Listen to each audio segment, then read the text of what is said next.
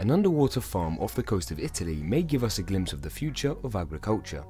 Nemo's garden is 8 meters under the sea level and is the world's first underwater farm producing incredible fruits and vegetables. Before we jump in, we'd like to say thanks to everyone who joined our Patreon this week. We've got great feedback on our newest reports and enjoyed working on your own food innovations. If you'd like to join our food innovation community, check it out, the link is in the bio. As we push to recreate our food system to feed 10 billion people by 2050, experts claim underwater farms could reduce the strain on agricultural practices and provide a sustainable alternative to farming on land. The US company behind this innovation is Ocean Reef, as they aim to perfect underwater cultivation in the Italian Riviera.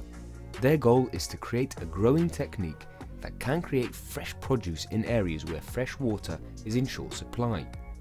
The project has already successfully grown various herbs such as basil, different types of salad, tomatoes, courgettes, beans, green peas, aloe vera, mushrooms and strawberries. Basil is even supposed to have a more intense flavour than the same variety grown on land. The farm is made up of six air-filled clear plastic pods known as biospheres. They are anchored to the seafloor by ropes, chains and heavy weights. Each pod is exactly 2 meters wide and is filled with 2000 liters of air. The farm uses hydroponic technology with sensors monitoring the CO2 and oxygen levels, humidity and temperature. They can monitor all these key metrics from the shore and if needed a diver can tend to the plants. The system is almost fully self-sustainable. No pests or disease spores can enter the biospheres and they also create salt-free water when humidity inside condenses along the inner walls and trickles down salt-free, providing the plants with a fresh water supply. The two main renewable energy sources used for the farm are solar energy and energy obtained through the process of desalination of water. When solar energy isn't available, LED lights are employed to provide light.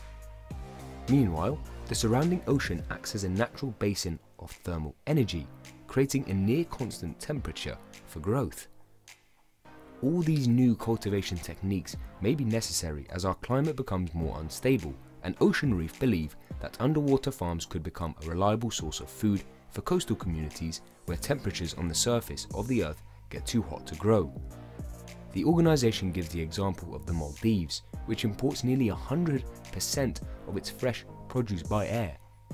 Places like this could be transformed into a self-sustaining agricultural nation using underwater greenhouses to cater to the local and tourism industry. There are added benefits too. According to the researchers, the Italian farm is also having positive effects on the local marine ecosystem. At the facility in Liguria, the seahorse population has never been so healthy.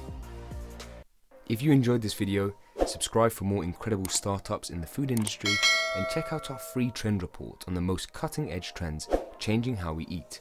Link is in the bio.